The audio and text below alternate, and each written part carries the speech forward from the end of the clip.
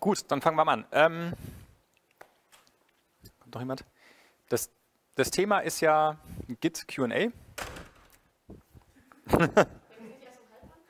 nee. Ja, genau. Ähm, bevor ich anfange, würde ich mal gerne so eine Frage machen, wer denn Git schon kennt. Und da das da mit der Selbsteinschätzung, wer kennt Git, so ein bisschen komisch ist, würde ich mal sagen, so auf einer Skala von 1 Anfänger bis 5 Vollprofi, wer würde sich als 1 Anfänger bezeichnen oder hat keine Ahnung? Okay, 2, 3, 4, 5. Da darfst du jetzt die Session machen.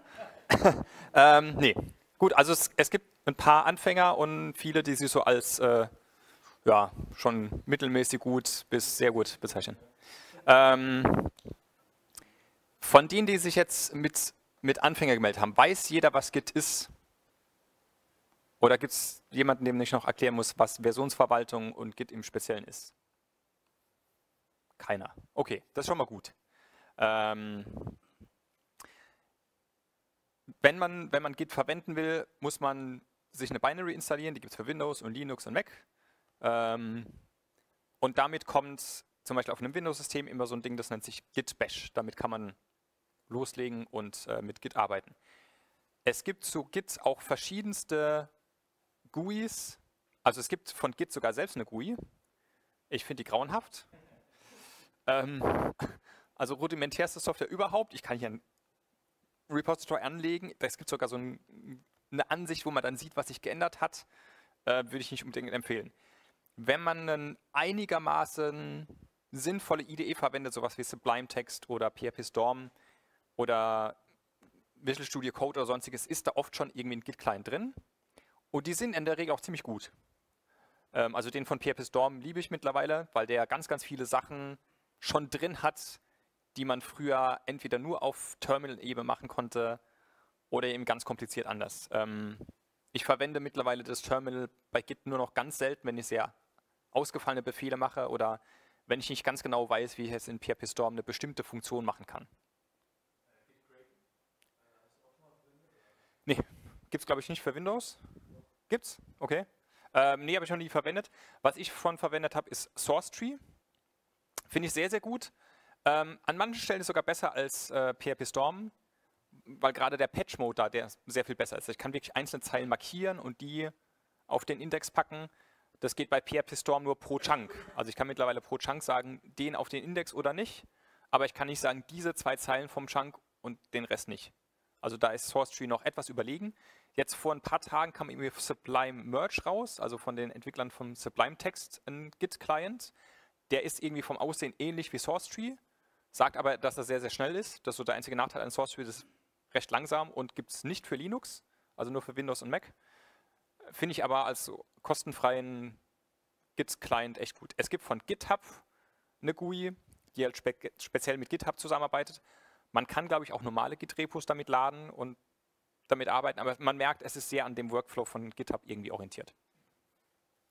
Ähm, wichtig ist halt, dass man die Basics von, von Git versteht und was da dahinter steckt. Und zwei Ressourcen, die ich da absolut empfehlen kann, ist zum einen die Dokumentation von Atlassian.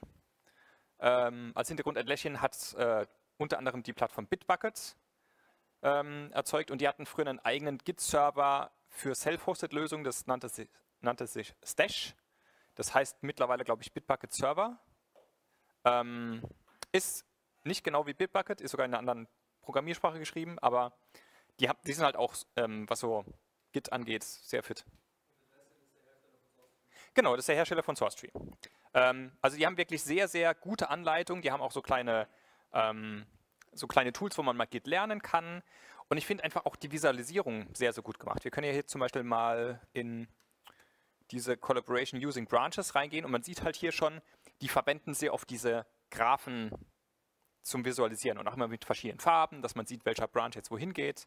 Ähm, und ich finde das einfach sehr, sehr gut visualisiert. Also wenn man irgendwie mal eine Referenz braucht, auf der man ein bestimmtes Thema nochmal nachlesen kann, ist atlassian.com slash git eine ganz gute Anlaufstelle, wo man sowas nochmal äh, lernen kann. Und auch viele von den Atlassian-Mitarbeitern haben sehr viel auf ihren eigenen Blogs über Git geschrieben, zum Beispiel irgendwie eine Git-Config mit ein paar schönen Aliasen, die dann irgendwas, äh, irgendwie Git-Log besser aussehen lassen oder die gemergte Branches lokal löschen oder so Sachen. Also die haben auch sehr, sehr viele Ressourcen, die jetzt nicht unbedingt in den offiziellen Doku stehen. Genau. Ähm, eine andere Quelle, die ich absolut empfehlen kann, ist dieses Git Cheat Sheet. Das gibt es sogar auch in verschiedenen Sprachen, unter anderem in Deutsch. Und da sieht man alle Elemente, die so ein Git-Repository hat. Und das ist auch meistens das erste Mal, wenn Leute, die Git schon verwendet haben, Dinge sehen, die sie noch nie so gesehen haben. Also zum Beispiel diesen Stash ganz links, den kennen viele nicht. Ähm, und man hat halt hier diese verschiedenen Ebenen, aber also die Arbeitskopie ist der lokale Ordner, den man auf der Festplatte hat. Das, was lokales Repository heißt, ist alles, was in dem Punkt Git-Ordner ist, wenn man irgendwie einen Pull oder einen Push macht, das, was dann da global landet oder wenn man Commit gemacht hat, was dann da landet. Und das, was hier Remote Repository ist, ist das, was meistens GitHub ist. Also vielleicht für die, für die Beginner, Git ist nicht gleich GitHub.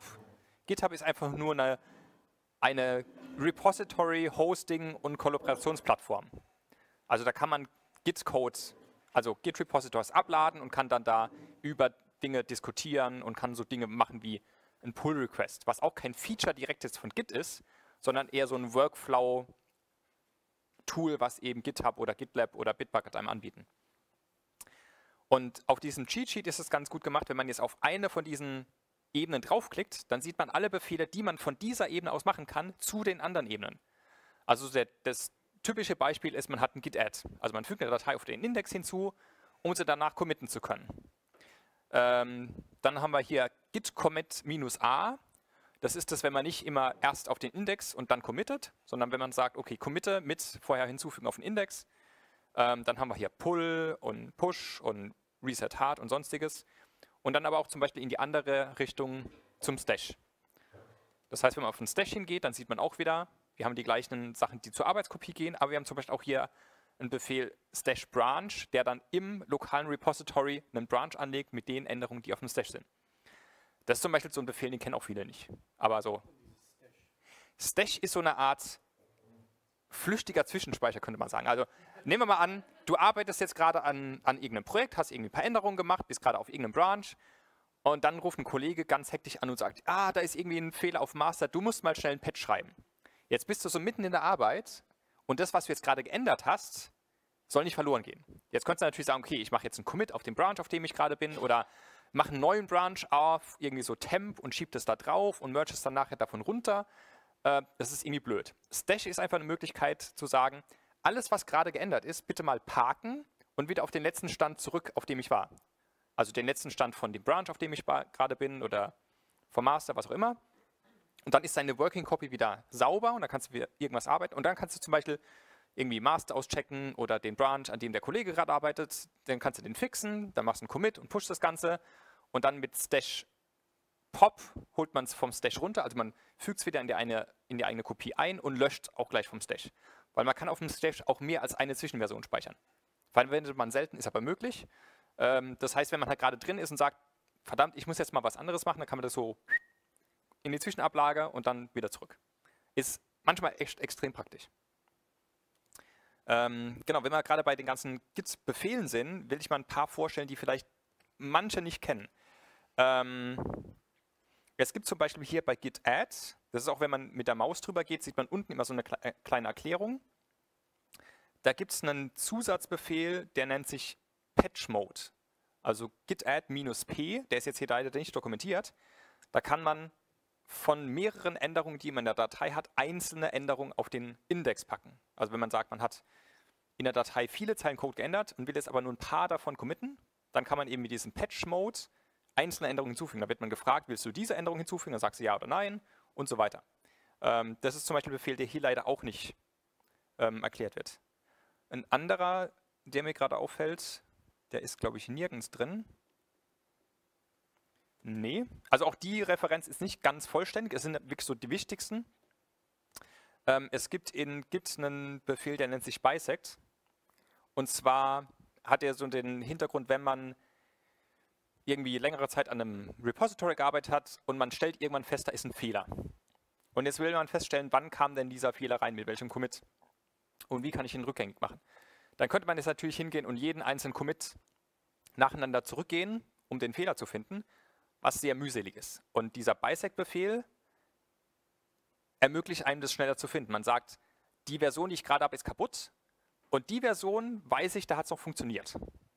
Und dann macht Git eine binäre Suche. Das heißt, der teilt einfach die Anzahl der Commits in die Hälfte, checkt diesen Commit aus, dann kann man testen, funktioniert es oder funktioniert es nicht. Also man sagt dann Git, ja, ist kaputt oder nein, ist nicht kaputt.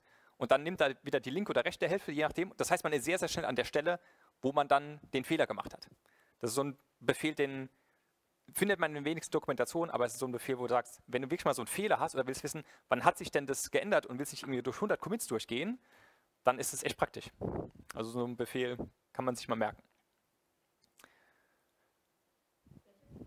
Bisect heißt der. Der ist ja nicht drauf. Ja. Genau, also es gibt in der, in der offiziellen äh, Seite git-scm.com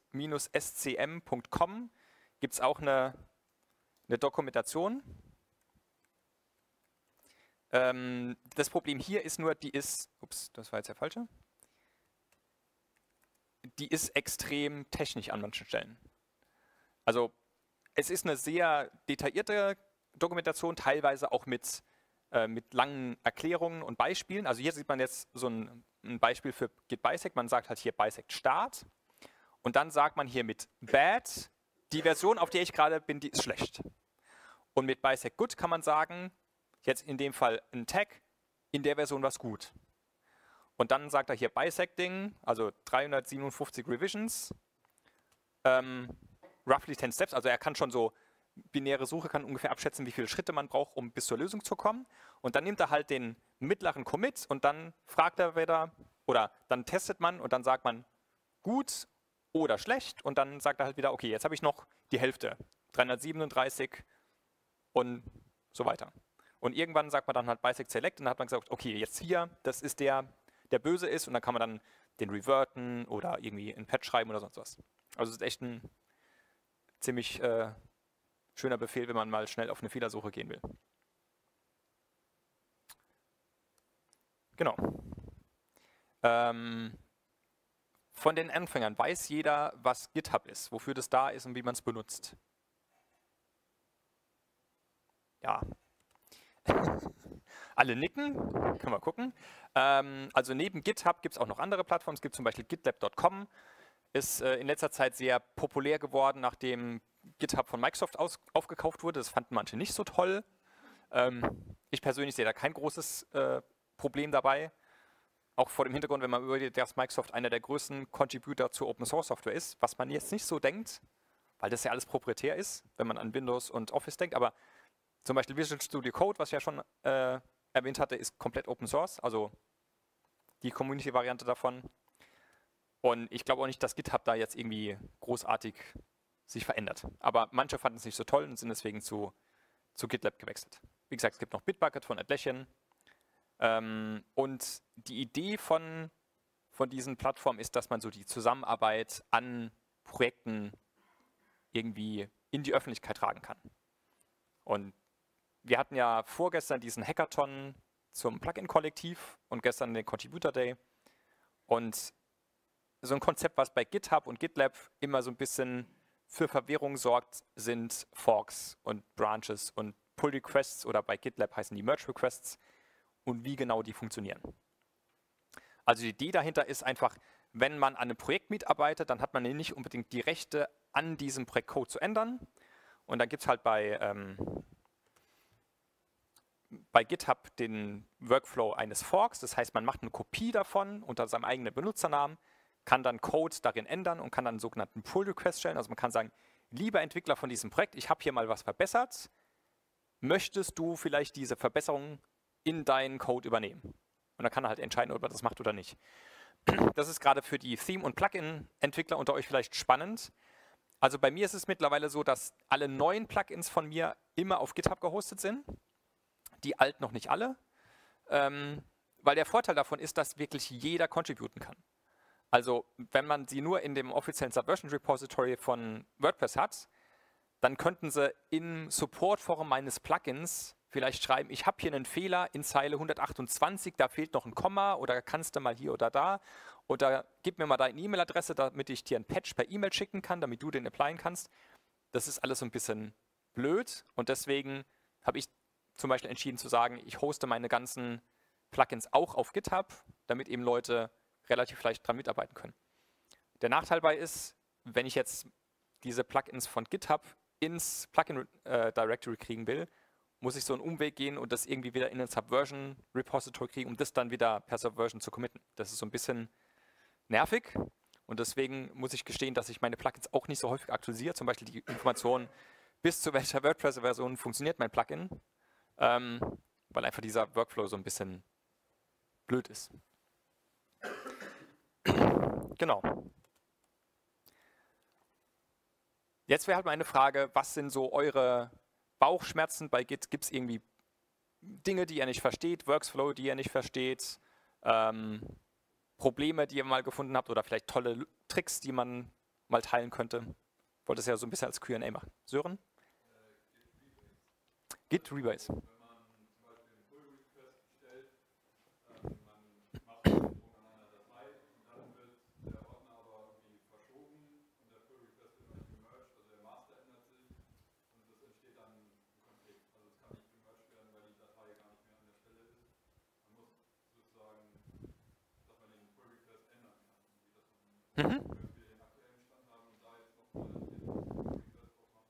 Genau. Also die Frage war, wie ist es mit Git Rebase, vor allem bei dem Hintergrund, wenn man einen Pull Request aufgemacht hat und es dann zu einem Konflikt kommt, weil zum Beispiel eine Datei umbenannt wurde, eine Ordner umbenannt oder eine Datei verschoben, wie kann man den eigenen Pull Request reparieren? Ich habe jetzt, glaube ich, leider kein Repo, wo das der Fall ist.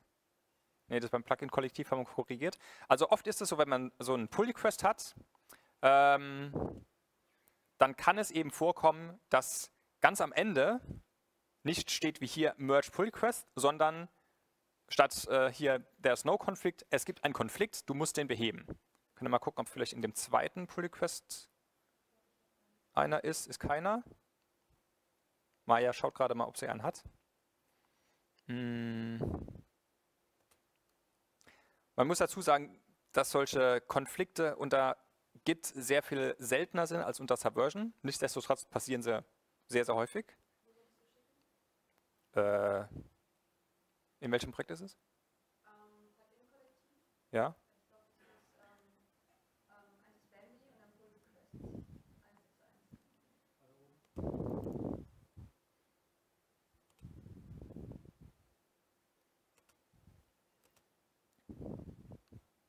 Eins sechs eins. Genau. Da gibt es schon wieder einen Konflikt. Interessant. Genau, also jetzt haben wir hier Conflicting Files. Ähm, um einen Konflikt zu beheben, kann man zwei Dinge machen. Man kann entweder einen Merge machen oder, was Sören eben meinte, einen Rebase. Wir können ja gerade mal auf die Dokumentation von, von Atlassian gehen und uns mal die Unterschiede zwischen Merge und Rebase raussuchen. Ne, da ist die Suche. Warte mal, hier Merge Conflict. Weil die visualisieren das immer ganz schön. Wobei, da fällt mir gerade ein, äh, Git with Kittens. Ähm. Ach ja, genau, Git pur. Es gibt so eine, so eine coole Variante, äh, Git zu erklären. Und zwar hat sich da eine, eine Entwicklerin mal die Mühe gemacht, Dinge in Git zu erklären, indem sie Kätzchen verwendet. Und zu erklären, äh, was ist ein Merge, was ist ein Branch und es gibt hier so ein, ein schönes Ding, der Unterschied zwischen Merge und Rebase. Ähm, ich weiß nicht, ob man das jetzt hier so, so gut erkennen kann, aber die Idee hinter Merge und Rebase ist, also man sieht das hier bei, ähm, bei Git Merge, also es gibt hier irgendwie Kätzchen und dann bekommt das Kätzchen hier irgendwie eine Fliege und das andere Kätzchen bekommt ein bisschen Farbe. Und der Merch ist... Achso, ja, warte mal, ich kann es mal...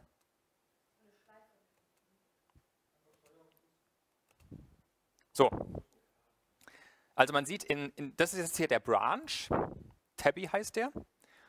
und hier kommt eine Schleife oder Fliege, je nachdem, wer es nimmt. Und hier kommt dann noch ein bisschen Farbe ins Spiel. Und jetzt werden diese beiden Änderungen zusammengefügt. Und in einem Merge passiert es so, dass ein neuer Commit entsteht. Und in diesem Commit werden diese beiden Variationen zusammengeführt. Das heißt, man hat dann am Ende ein Kätzchen mit einer Schleife und der Farbe. Das ist so, wie ein Merge funktioniert. Bei einem Rebase ist es jetzt so, man hätte diesen Branch und statt einen Commit zu erzeugen, in dem beide Änderungen zusammengefügt werden, verschiebt man die Commits ans Ende von den anderen. Das heißt, man hat hier oben diesen Master Branch, wo das Kätzchen schon eine Fliege hat. Und dann kommt auf diesen Stand die Änderung, äh, der Kopf wird eingefärbt und dann wird der Körper und der Schwanz eingefärbt. Das heißt, man, man verändert die History von diesem Branch und hängt die neuen Commits ans Ende des aktuellen. Der Vorteil dabei ist, es entsteht kein neuer Merge-Commit. Das heißt, die History ist etwas sauberer. Und gerade wenn man so einen Pull-Request hat, wo in der Zwischenzeit sehr viel auf Master passiert ist. Also meinetwegen, man hat einen Pull-Request aufgemacht und der ist irgendwie drei Monate alt.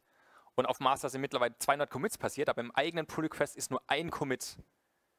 Dann ist die Wahrscheinlichkeit sehr, sehr groß, dass man einen Rebase machen kann. Das heißt, man sagt, okay, ich nehme den aktuellen Stand von, von Master, wie er jetzt gerade ist, und hänge meine Änderung hinten dran.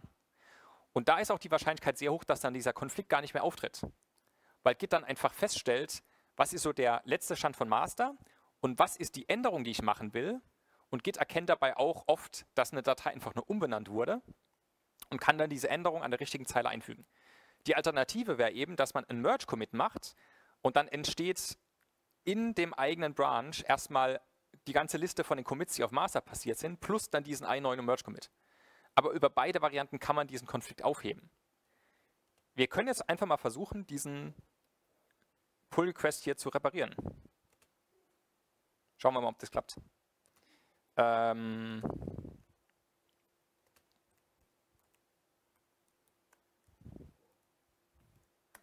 ja, ja, ich mach's kurz. So, ich klone mir jetzt einfach mal das Repo hier.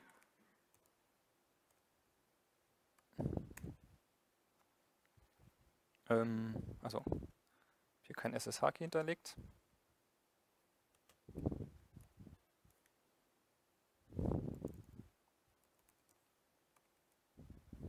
Na?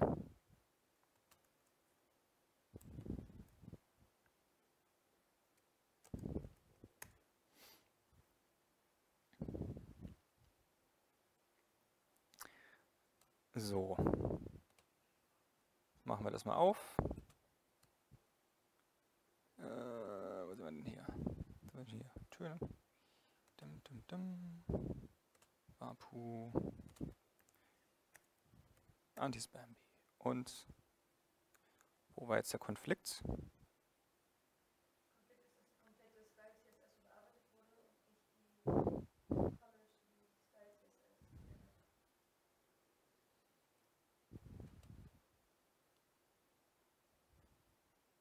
Mhm, Anti-Spam-B PHP zum Beispiel. Ach ja, genau, ich muss ja jetzt erstmal noch den, den Fork von Maya mir holen.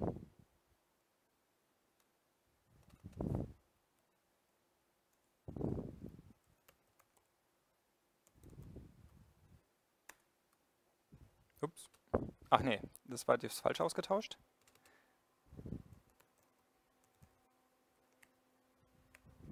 Halt, da fehlt auch noch. So, jetzt. Ist jedem klar, was ich hier mache? Genau, also Maya hatte einen Fork von diesem Repository gemacht und ich kann mir jetzt git remote add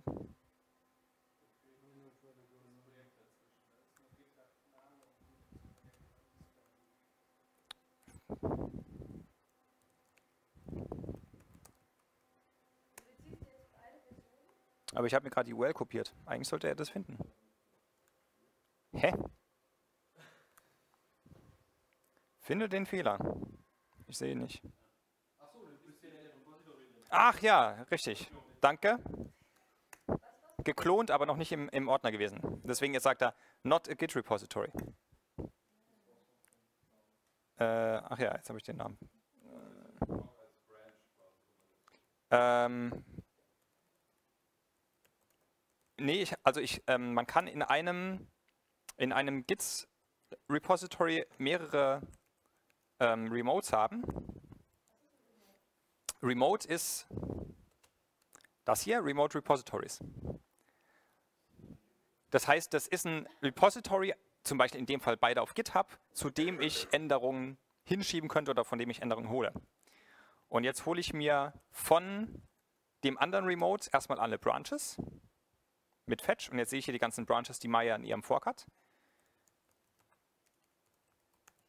Und jetzt kann ich hier den LE Branch mir auschecken. Das war, glaube ich, der richtige. So, und jetzt bin ich auf diesem LE, LE Branch. Ähm, und jetzt können wir diesen, diesen Konflikt, wie gesagt, auf zwei Weisen auflösen. Wir können entweder ein Rebase machen oder ein, Mer ein Merge. Ähm, wir können ja mal gerade gucken. Es gab hier vier Commits.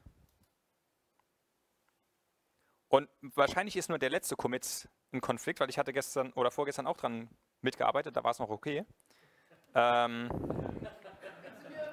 das, äh, das heißt jetzt nicht, dass Maya schuld ist, sondern eher, wer auch immer äh, in, in Plugin-Kollektiv was aktualisiert hat, hat halt dadurch einen Merge-Commit äh, verursacht. So, was ich jetzt hier mache, ich merge mir jetzt Origin Master hier rein. Oder wollt ihr ein Rebase? Wer ist für Merge? Ähm, genau, das können wir jetzt einfach mal gucken. Also sie hat am 24. November 2017 den Branch aufgemacht. Und was? Das ist aber echt lange her. Okay. Ach ja, stimmt. Ich habe gestern an einem anderen Plugin gearbeitet. Also da wir jetzt sehen, der, der Branch ist schon sehr, sehr alt. Und Anti-Spampi ist eins von den Plugins, wo wir sehr viel machen. Ist wahrscheinlich die schlechtere Variante, Merge zu machen, weil einfach sehr viele Commits zwischendrin waren. Das heißt, in dem Fall würden wir einen Rebase machen und versuchen, diese vier Commits hinten ran zu hängen. Also wir machen hier diese schöne Variante.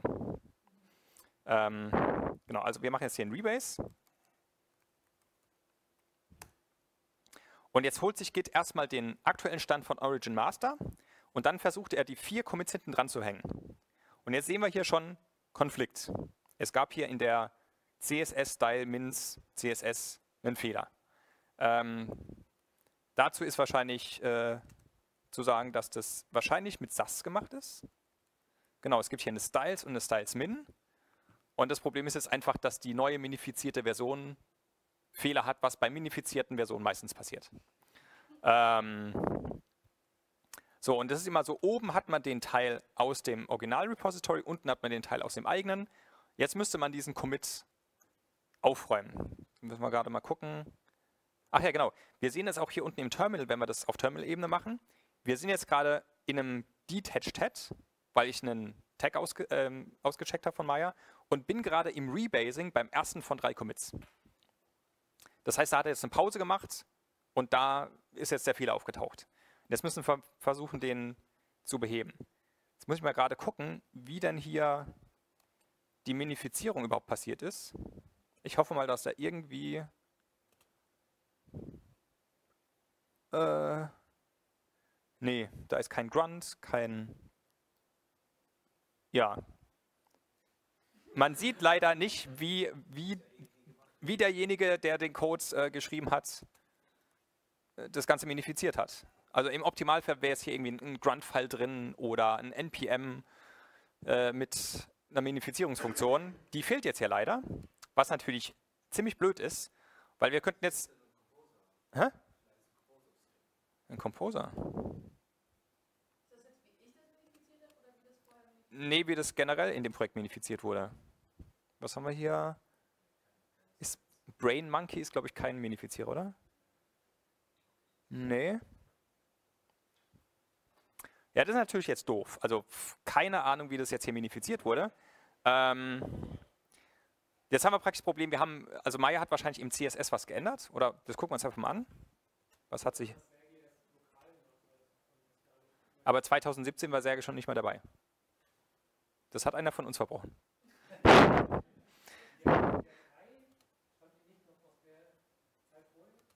Ja, aber es wurde ja an der Min CSS irgendwas geändert, sonst gäbe es ja keinen Konflikt.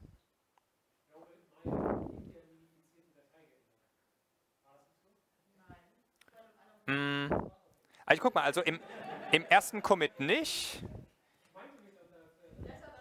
Im zweiten Commit hat sie in der Style CSS was geändert. Und nicht, doch in der Min hat sie auch was geändert. Nee, die kam irgendwie. Die war vorher. Hm, das ist komisch. So, wir machen das jetzt, wir machen das jetzt einfach. Bei so minifizierten Dateien äh, ist, ist der Trick, also gerade auch wenn man mit SAS arbeitet, die kompilieren ja immer irgendwie eine CSS-Datei raus, ob die jetzt minifiziert ist oder nicht. Ähm, Wäre mein Tipp einfach, man nimmt eine von den beiden Versionen. Nehmen wir jetzt einfach mal die Version von Maya. So, dann speichern wir das. Wenn wir jetzt einen Git-Status machen, dann sieht man immer, was müsste man jetzt machen, um diesen äh, Fehler zu beheben. Also ich habe hier einen Unmerged Path, diese Style CSS. Ähm, wenn ich die mit Add auf den Index hinzufüge, dann habe ich den Fehler behoben. So, um den Fehler jetzt wirklich zu beheben, gehen wir einfach mal hin und nehmen hier die, die Style CSS, die normale. Und nehmen wir einfach so einen Online-Minifier, weil wir es keinen haben.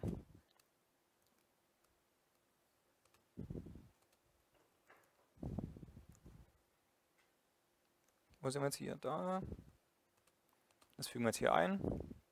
Da hat sich ein bisschen mehr geändert irgendwie.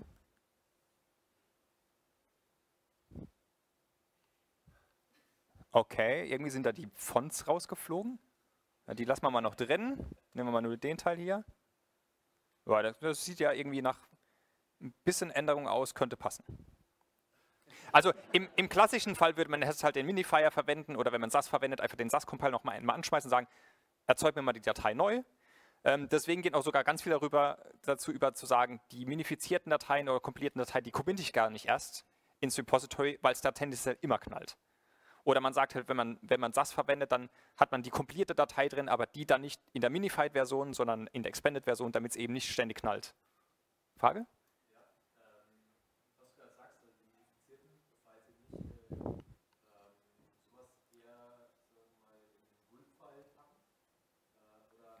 Mhm. Genau, also man könnte es dann lokal klonen auf dem Live-System oder man könnte halt, wenn man zum Beispiel GitLab verwendet, könnte man sagen, äh, der GitLab-Server erzeugt dann aus dem Repository jedes Mal ein Bild und da würde dann einfach dieser Minifizierer drüber laufen. Genau, also wir haben jetzt diesen Fehler behoben und jetzt äh, machen wir git add ähm, und dann machen wir git rebase continue dann geht es weiter. So, jetzt haben wir wieder einen Konflikt. Es ist wieder die äh, Style CSS. Schauen wir mal rein, was da ist. Aha. Copied changes removed from min. Okay. Schauen wir mal rein, was hier jetzt passiert ist. Hm. Das war sogar ich.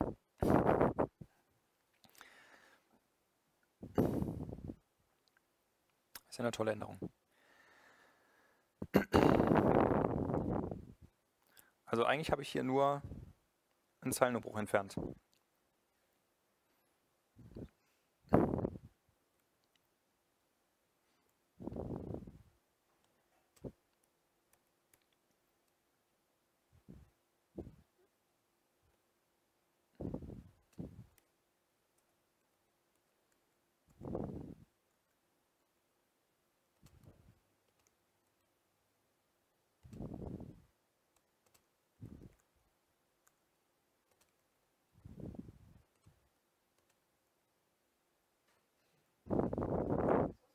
Also ich pushe das jetzt gleich nicht. Vielleicht haben wir irgendwas falsch gemacht. Jetzt, jetzt gucken wir nochmal in den Status rein. Ähm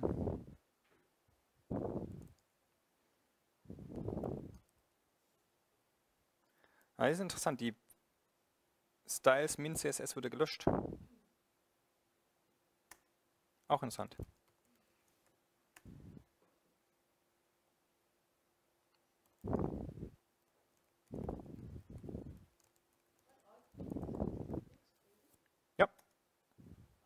So, vielleicht haben wir jetzt beim dritten Glück uns kein Konflikt. Na, so ein Pech. Jetzt ist mal die PHP-Datei. Ja, das ist ein, ein, gutes Beispiel. Das ist halt so dieses Problem, wenn man so long-running Branches hat, die irgendwie über ein Jahr rumliegen, dann ist die Wahrscheinlichkeit, dass da irgendwas passiert, relativ groß. Deswegen ist es bei Git eigentlich oft so, dass so ein Branch nur ein, zwei Tage lebt, im besten Fall, oder sogar nur eine halbe Stunde. Also man ist da sehr schnell beim, beim Branching und Merging, also im Gegensatz zu Subversion, wo allein ein Branch erzeugen teilweise eine Mittagspause lang dauert, ähm, geht es hier relativ schnell. Deswegen sollte man Branches nach Möglichkeit relativ schnell integrieren. Wenn man natürlich irgendwie an, einem, an so einem großen Projekt mitarbeitet, ist das nicht unbedingt immer gegeben. So, was haben wir hier? Der Konflikt. Äh, Konflikte fangen immer an mit diesen Pfeilen hier. Dann kommt der Commit-Name oder Branch-Name oder was auch immer von dem Originalzweig. Und dann kommen hier mehrere Ist-Gleichzeichen und dann kommt so das Ende. Das heißt, in dem, in dem Fall ist jetzt hier der Unterschied und da wurde die Min-CSS rausgenommen und die du hast dann die normale Style CSS reingeladen, weil du wahrscheinlich keine Änderung gesehen hast. So, das nehmen wir jetzt hier raus. Das nehmen wir auch raus. Mhm.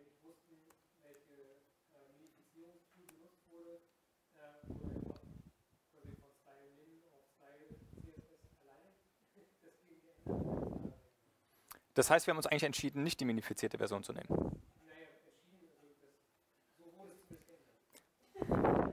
Das Schöne ist, dann können wir gleich noch einen zweiten Fall machen. So, wir machen jetzt mal Continue. Halt. Äh, git. Machen wir nochmal Git Status, damit wir uns nochmal angucken. Also hier Modified. Dann fügen wir die hinzu. Und dann machen wir Rebase Continue. Ähm. Was habe ich gerade vergessen? Eigentlich musste das gar nicht. Your real run git.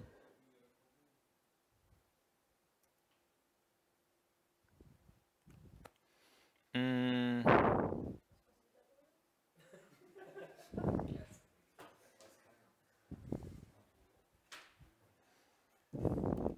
Das Problem ist manchmal, wenn man eine Änderung macht und in der Änderung nichts mehr passiert.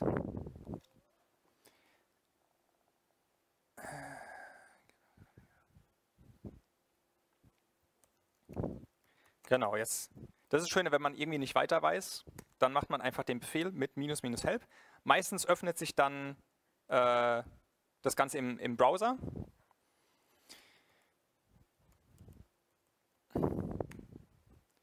Genau, und jetzt haben wir, glaube ich, diesen Fall keep empty. Also ich habe jetzt eine Änderung gemacht, die effektiv nichts macht. Ich habe zwar was hinzugefügt, aber es passiert eigentlich nichts. Und jetzt kann ich hier sagen keep empty. Das heißt, ich mache jetzt einen Commit in dem Rebase, der eigentlich keinen Inhalt hat. Oder, okay, kann auch sein, dass ich continue weglassen muss.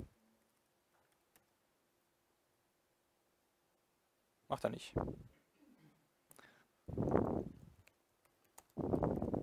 Dann skippen wir den einfach. Wenn sowieso nichts passiert. So, jetzt kommen wir nochmal, geht Status. Wir sind jetzt hier auf diesem Branch und haben den Merge Commits gelöst.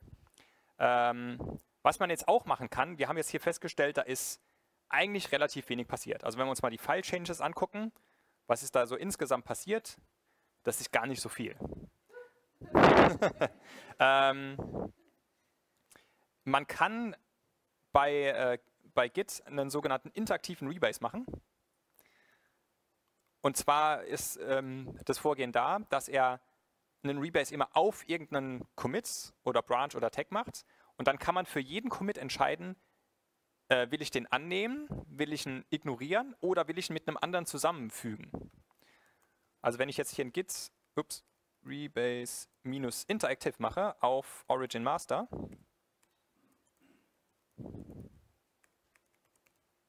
Wir haben übrigens eben gesehen, wir haben drei Commits im Rebase gehabt. Wir haben aber hier vier Commits. Woher kommt das? Das kommt daher, dass alle Merge-Requests automatisch gelöscht werden, weil der Merge-Request selbst eigentlich keinen Inhalt hat.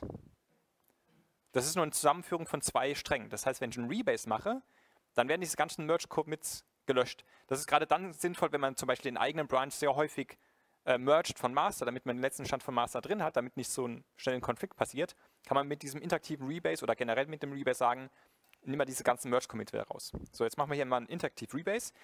Den Befehl finde ich wirklich gut, weil er einfach so, wenn man gerade in einem Pull-Request gibt es dann oft, dann fängt man an zu diskutieren und dann sagt man, könntest du das noch machen, könntest du das noch machen. Und dann hat man so ganz, ganz viele kleine Commits dran, die eigentlich so vom Inhalt her keine große Relevanz haben. Also ein Commit sollte wirklich irgendeine Aussage haben, irgendwas, was man gemacht hat, was man ge geändert hat, was irgendwie an sich eine Änderung ist, die, die wichtig ist. Und hier der Message ist, keine Ahnung, vielleicht einfach nur die Commit-Nachricht geändert. Und was ich jetzt hier bei dem Interactive Freebase machen kann, ich sagen, den ersten pick ich und dann ist hier unten An Anleitung, was ich noch machen kann. Und beim zweiten kann ich sagen, den squashe ich. Da kann ich jetzt einfach nur S sagen. Dann speichere ich die Datei. Und jetzt werden diese beiden Commits zusammengefügt von Git. Und jetzt wird gefragt, was ist jetzt der neue, die neue Commit-Nachricht für den neuen Commit, der entsteht. Und dann nehme ich jetzt einfach nur die zweite Nachricht.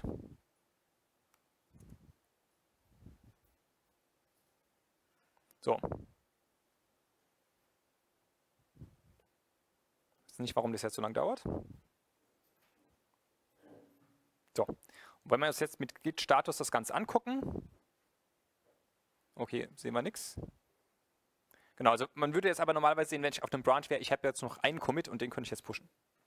Also das ist so, wie man ein Rebase einsetzen kann, um so einen Merge-Konflikt zu lösen. Das heißt, wenn ich das jetzt zurückpushen würde nach GitHub, mache ich jetzt nicht, weil ich will es mir nochmal genau angucken, was da passiert ist, ähm, dann würde halt hier vorne in der Conversation dann unten nicht mehr stehen, ist defekt, sondern ist resolved. Das Schöne ist, wenn ich jetzt ähm, Zugriff auf dieses Repo hätte, könnte ich auch direkt sagen, ich resolve den in GitHub. Das heißt, das, was ich jetzt so lokal gemacht habe, mit zu entscheiden, was ist der richtige Fall, das kann ich mittlerweile direkt in GitHub machen. Und da geht ja auch die einzelnen Commits durch und kann dann direkt in GitHub das resolven und kann da einen neuen Commit machen. Das ist echt sehr praktisch. Jetzt mit dem Minifizieren und mit SAS kompilieren ist dann natürlich blöd. Das geht da nicht, aber wenn es so ein einfacher Fehler ist, kann man das direkt in GitHub machen. Noch andere Fragen? Nee, wir haben noch eine Viertelstunde. Hm? Ich habe, genau, ich habe hier, ähm, wenn ich noch mal reingehe, ich habe in, ich habe ja einen, also ich zeige es noch mal kurz. Was wir hier sehen, ist die lokale Working Copy und das lokale Repository. Und Git Remotes kann man mehrere haben, beliebig viele. Und ich habe jetzt hier einmal das sogenannte Origin, das ist meistens, wenn man irgendeinen so Clone von GitHub macht, das ist so das Hauptziel. Und das hier unten ist ein, ist ein Branch, äh, ein, ein, ein, anderer, ein anderer Fork. Das ist ganz oft, wenn man zum Beispiel irgendwas, wenn man selbst einen Fork macht, dann hat man Origin ist der eigene Fork und den anderen nennt man meistens Upstream, also das Originalprojekt. Wenn ihr, das ist nicht ungewöhnlich, dass man mehrere Remotes in, in einem Report.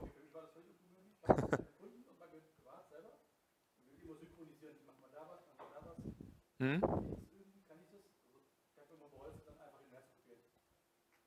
Ja, also. Okay, wir müssen gleich Schluss machen, aber die Frage beantworte ich noch.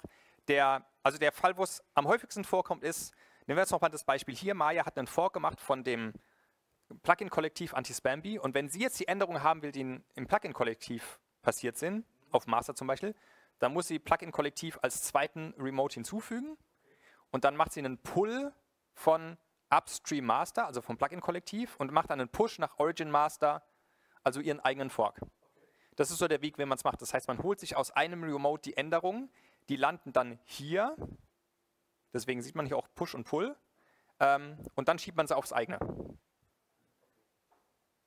Gut. Maya sagt, ich muss Schluss machen.